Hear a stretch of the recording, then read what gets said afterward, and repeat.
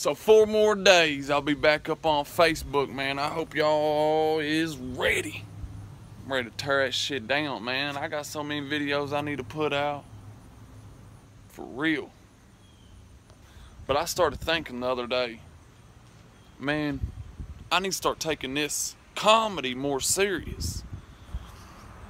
Like, I feel like I'm doing all these videos, like I'm doing video after video after video after video. And do, yeah, I'm doing shows like here and there, whatever. But I think I'm wanting to start to do more shows.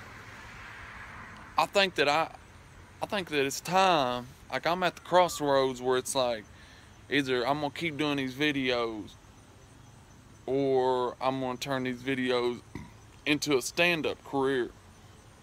But the hard thing about it is, man, is these comedy clubs, they ain't gonna mess with you unless you got like an agency or an agent booking them for you.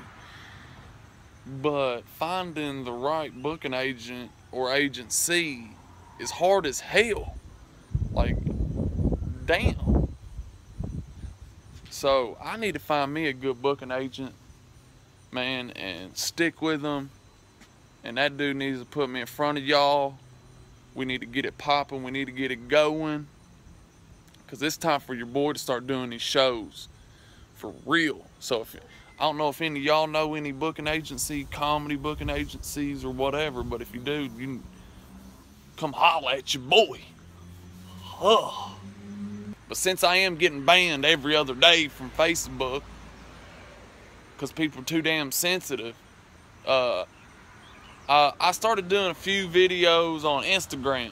So come follow your boy on Instagram, uh, Andrew Conn 05. 05. It's Andrew Conn 05. And don't forget to go get y'all some of that con clothing at conscloset.com. Yeah, your boy's got his own clothes out now. Huh? What?